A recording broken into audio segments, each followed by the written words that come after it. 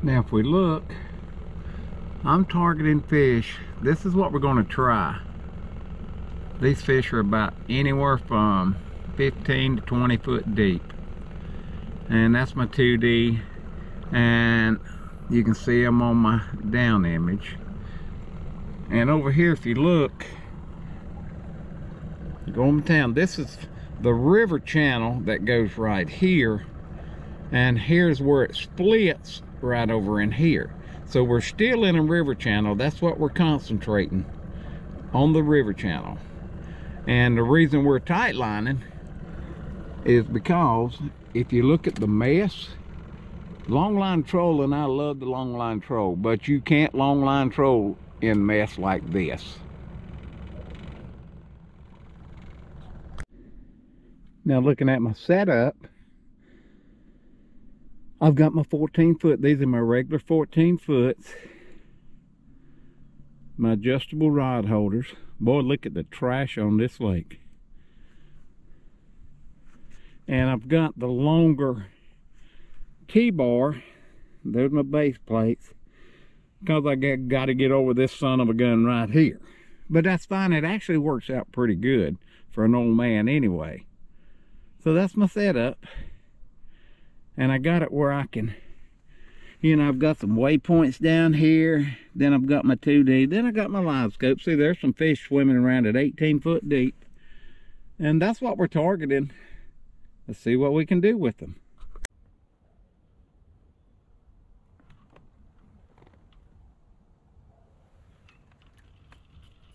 I got I don't know what it is. I believe it's a little one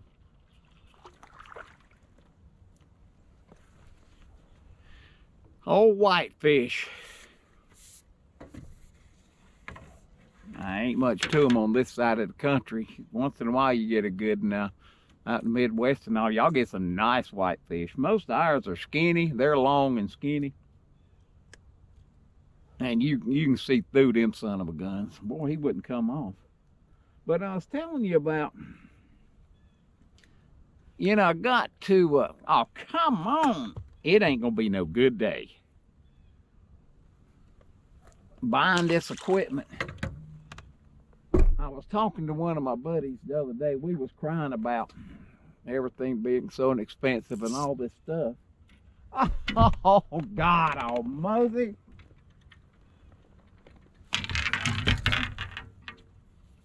I absolutely cannot fish.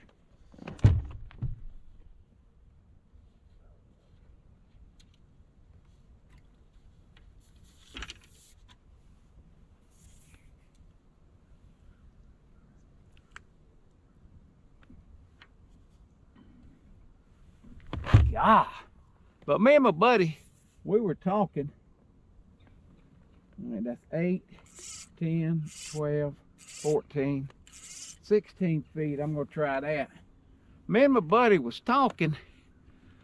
And a lot of you fellas that even watch this, y'all do not even remember that the only thing we had to fish with was a flasher. That was back, oh, 95, 90s to 95s, you know, something like that. Then they started getting the 2Ds. And uh, I first, first really good one I had, I had a Humminbird 2000. It didn't have but two knobs on that thing. One for depth and one for sensitivity, and that was the best unit. I'm telling you, simple. That son of a gun did not lie when it comes to marking fish. Then Lowrance hits the market. I mean, Lowrance had the best flasher in the world and some people I know still use flashers. I mean, those things really good. They they don't lie either. They'll mark a fish. But you know, in the 2000, you know, it started getting Lowrance 87s, 85s. That was the hot unit. There's about $500 then. Then here comes the GPS where it used to be when you marked the brush pile, you lined it up between that pier and that telephone pole over yonder somewhere, and you went in there and you found it.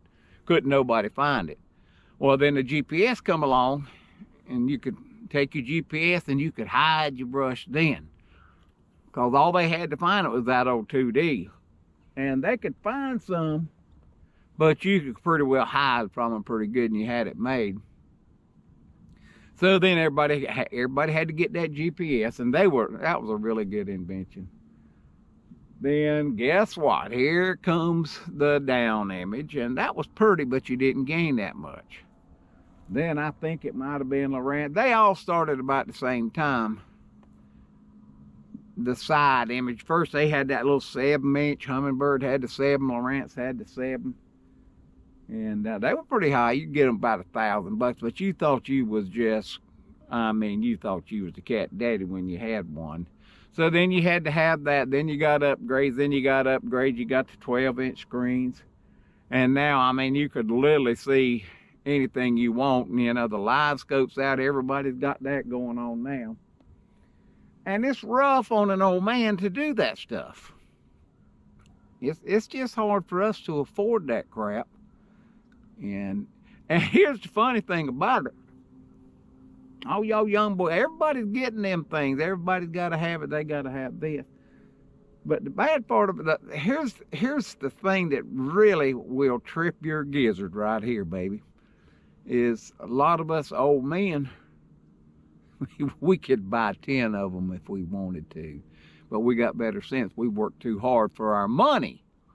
And uh, we just hate to part with it as we get older like that.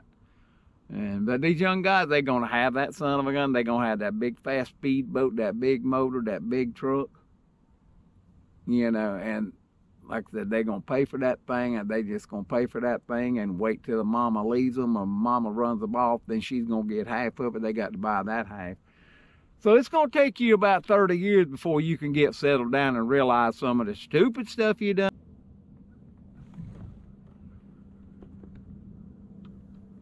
Looks like I got a beast here. It feels pretty good.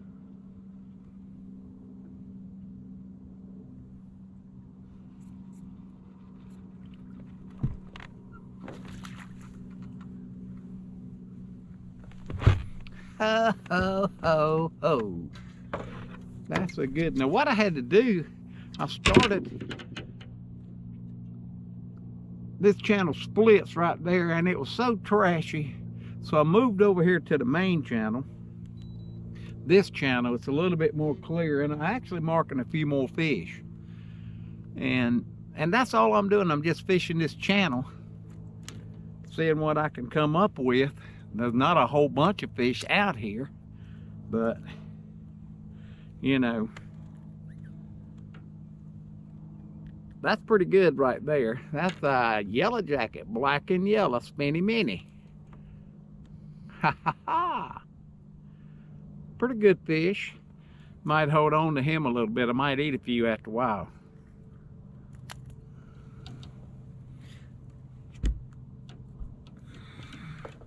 Get back in the water.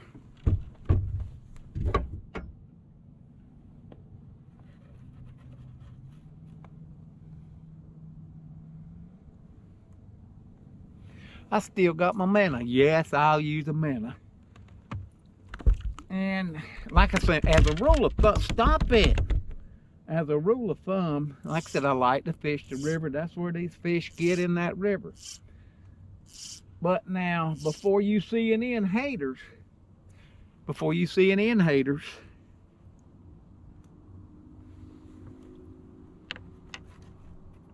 that don't believe nothing you hear,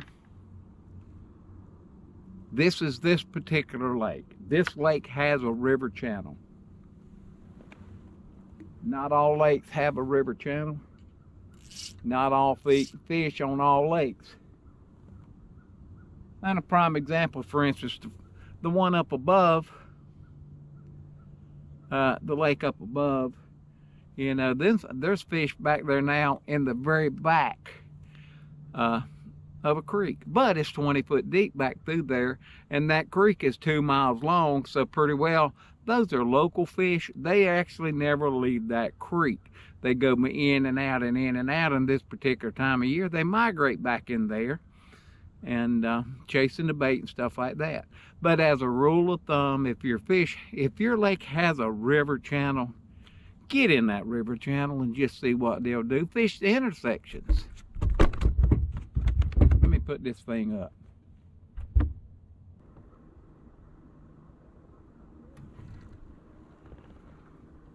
I don't think there's nothing to this.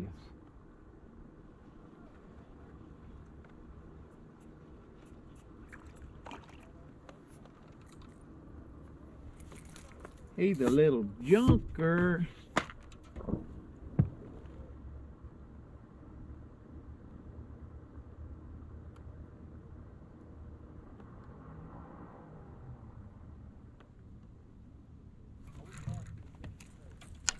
This one ain't.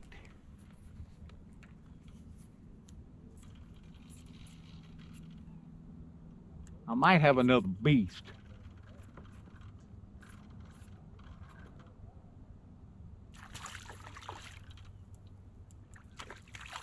He's a pretty good one.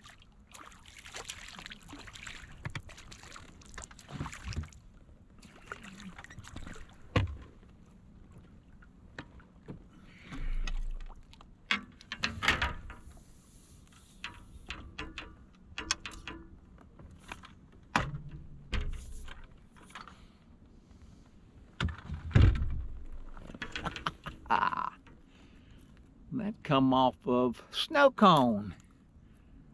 That's a good one. Pretty fish. One's a junker. But it's fish in the river. But let me tell you, the reason the reason I'm tight lining is simply because I like to fish all kinds of fish. I love the tight line. I love the long line. I love fishing docks, yeah, fishing brush, live scoping. Don't get me wrong, I like live scoping, but it ain't my number one forte. Cause I'm just, I'm a little bit lazy. I'm a lazy butted fisherman. Cause I can sit out here, that's yellow jacket again. I can sit out here on a pretty day when the boat traffic ain't up and down the river. And it's not bad right now because it is wintertime, deer season's in and all that.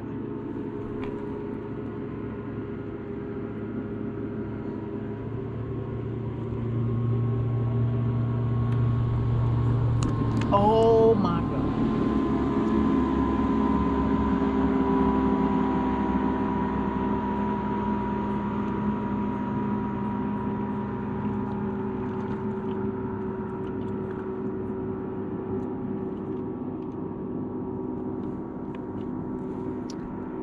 He's okay. Three quarters, 13 ounces. Ah, uh, yeah, he's yeah, he's bigger than that, maybe 14 ounces.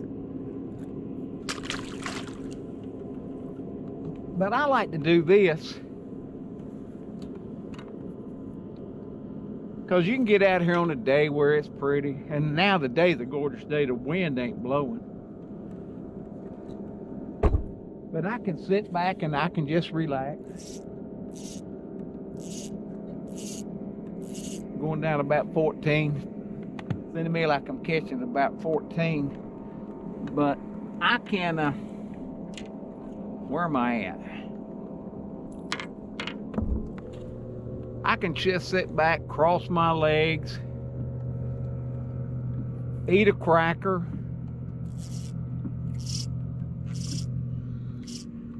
and I can do this all day long. Whereas standing up throwing that jig, I ain't gonna do that. All right, I'm gonna sit down if I do it.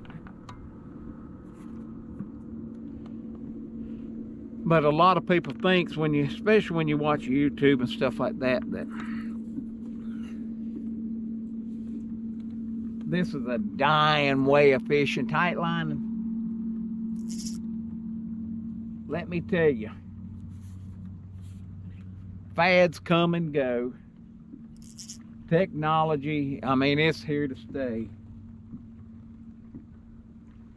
But tight lining, no. I mean, tight lining is always going to be here, especially when you get, of course, I'm going to leave this world one day. But even younger people, they love the tight line. Everybody has their own way of fishing. I like them all. But I love to get out here and sit back, you know, and just sit back and relax and just fish and I can talk to y'all.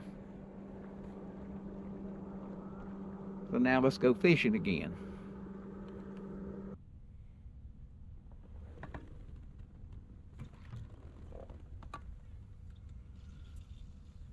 I don't know. It's fish.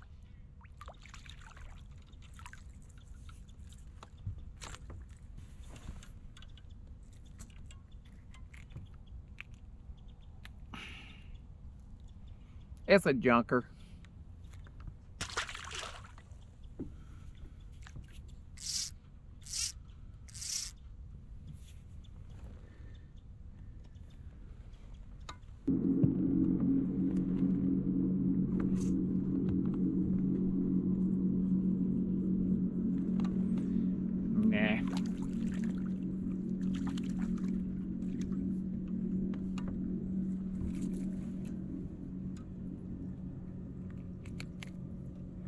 Junker.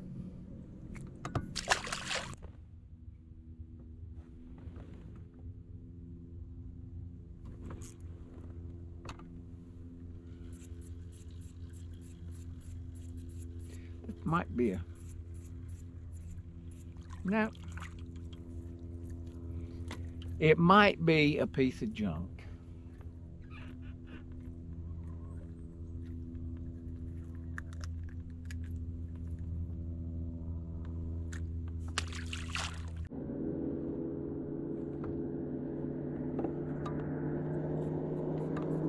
Thing always, when you get a fish, cut your motor off.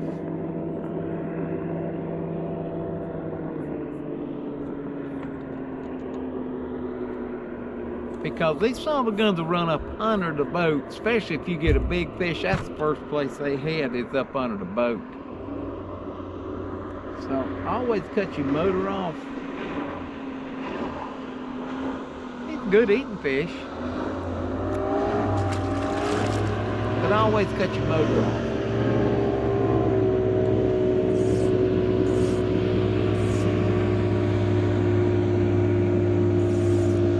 And I get ass off oh, that son of a gun.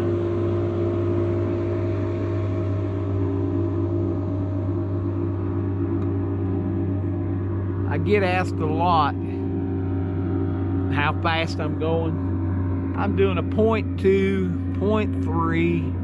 Generally, I like to do a four or even a five if I'm just covering ground because these fish are just scattered. But there's so much trash in the water that I've got to slow down so I can try to maneuver around the trash and stuff. Just a little hint.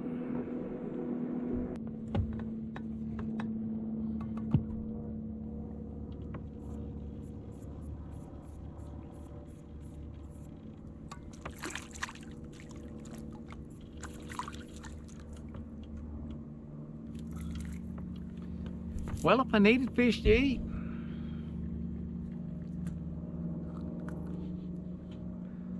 we would we'd have a pretty good mess to eat.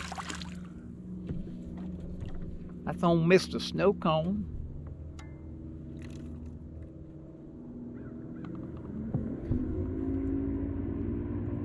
So I want to wrap it up. But I still love fish.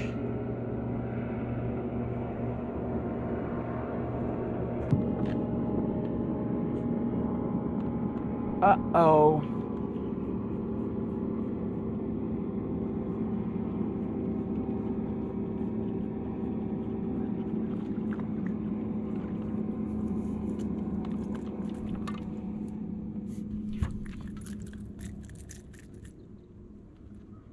And here we go.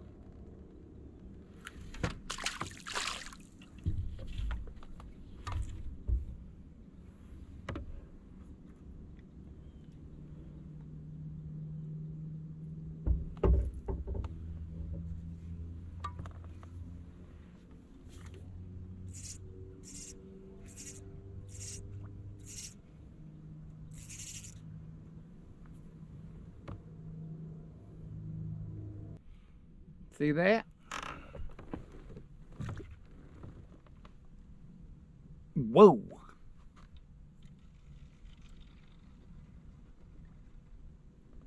I might have another Brandon here. Whoa.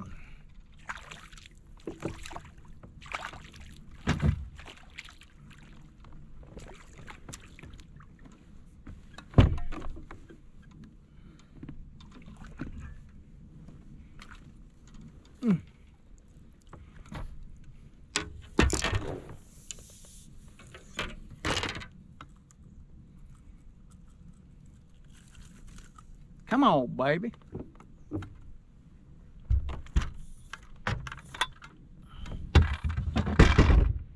Old spinny minnie. And 14 foot rods. You can't beat them. Yellow jacket.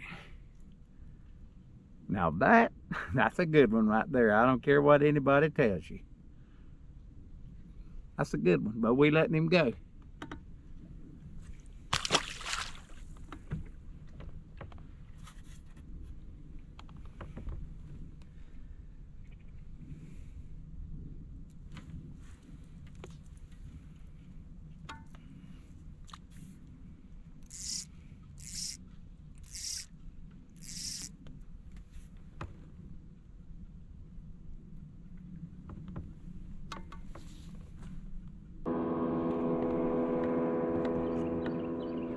Whoa, this might be pretty good. He's all right. Come on. Let's go, Brandon. Get up here. Come on. Oh, whoa.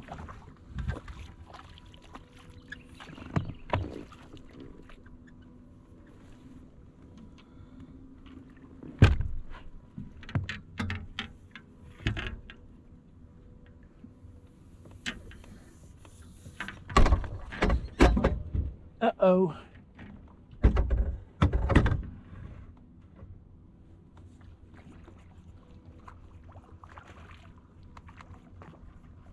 He ain't no Brandon.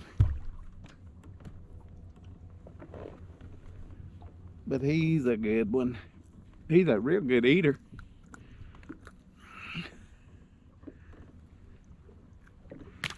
That's Mr. Smurf. I love my Spinny Minis now.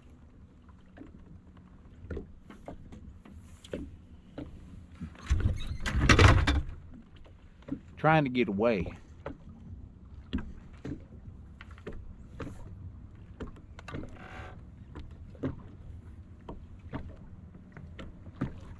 Okay.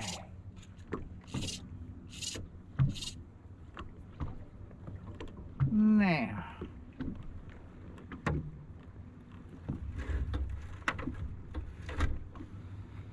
Blue and yellow.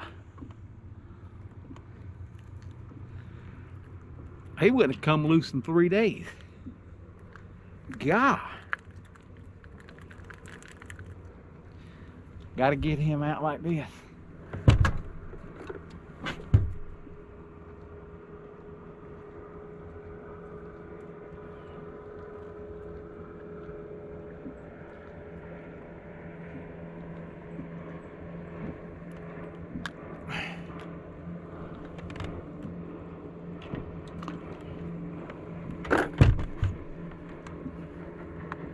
Pretty good one right there. Big long old sucker. But I reckon. Now, don't keep him if you can't eat him. You know, there ain't enough on these lakes to go around anyway now, seems like. So if he really just take out enough that you can eat.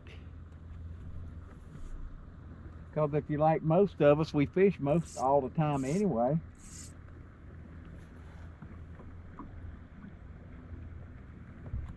But I reckon, I don't know, we probably got enough to do a video. So we'll probably wrap it up here. But you know, if I can help you, like I said, these tight lining rods, spinny minis, just give me a, you know, give me a shout out, www.southerncrappierods.com, and I'm Ed, and I'll see you on the next one.